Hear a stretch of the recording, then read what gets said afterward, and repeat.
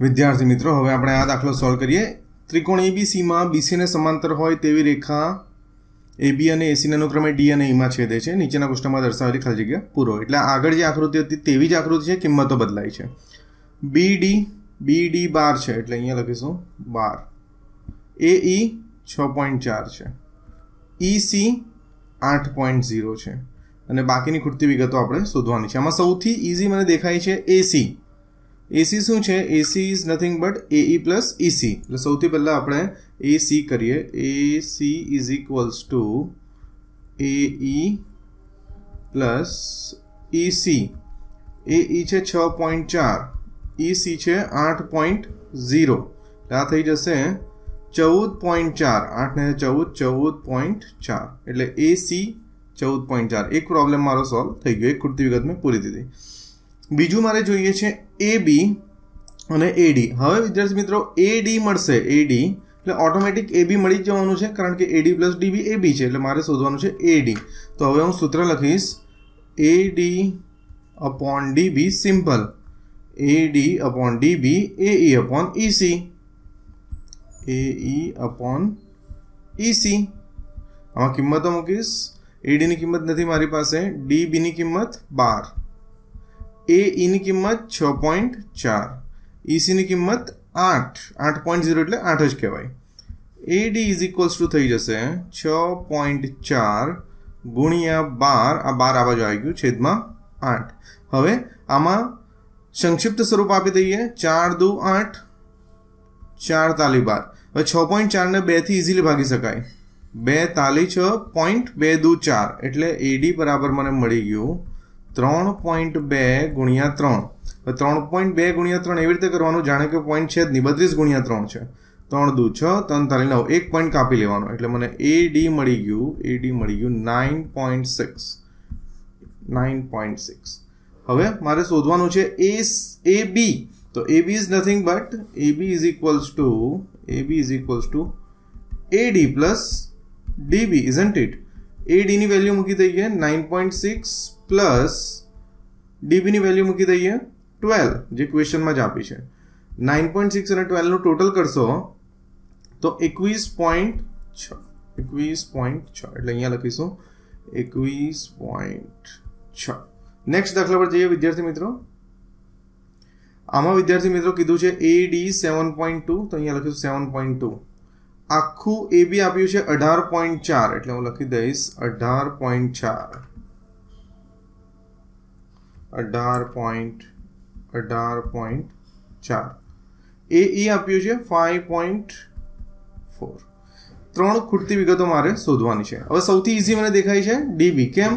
આખા એબીમાંથી આટલું એડી માઇનસ કરી દઈશ, જે મને ખબર છે. તો મને મળી જશે ડીડી સૌથી પહેલું કામ હું કરીશ B D is equals to B D is equals to A B minus AD આખું એ બી શું છે અઢાર પોઈન્ટ ચાર ઓછા સેવન પોઈન્ટ ટુ અઢાર પોઈન્ટ ચારમાંથી પોઈન્ટની જે પોઈન્ટ લખીને માઇનસ કરીએ સેવન પોઈન્ટ ટુ માઇનસ કરીએ ચારમાંથી બે જાય બે આઠમાંથી સાત જાય એક અહીંયા એક એટલે થઈ ગયું અગિયાર પોઈન્ટ બે એટલે અહીંયા લખી દઈશું અગિયાર પોઈન્ટ બે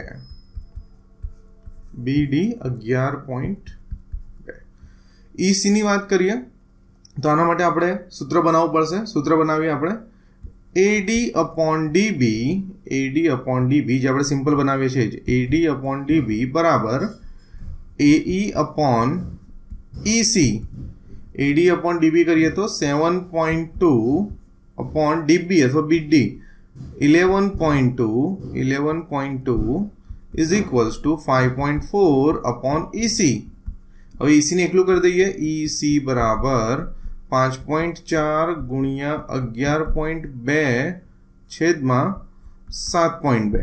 હવે વિદ્યાર્થી મિત્રો, આને સોલ્વ કરવા માટે આપણે શું કરીશું? તો આગળના વિડીયોમાં કર્યું તે પ્રમાણે ચોપનના છેદમાં દસ. અહીંયા લખી દઈશું.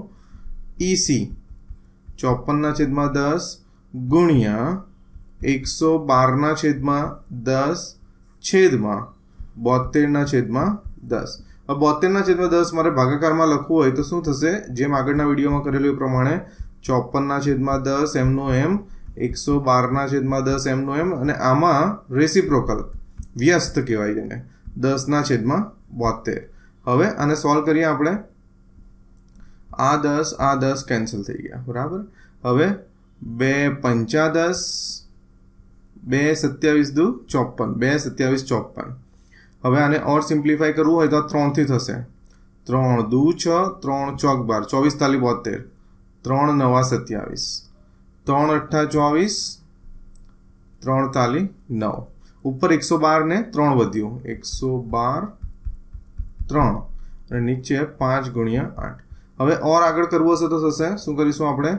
બે ચોક આઠ, બે પંચા દસ બે છંગ બાર. હજુ થશે. બે અઠ્યાવીસ, છપ્પન, બે દુ ચાર. હજુ થશે. ચૌદ દુ અઠ્યાવીસ. ચૌદ દુ અઠ્યાવીસ. એટલે ઉપર રહ્યું ચૌદ ગુણ્યા ત્રણ ભાગ્યા પાંચ. ચૌદ તાલી બેતાલીસ બેતાલીસ ભાગ્યા પાંચ. બેતાલીસ ભાગ્યા પાંચ કરીએ તો, વિદ્યાર્થી મિત્રો, પાંચ અઠામ ચાલીસ.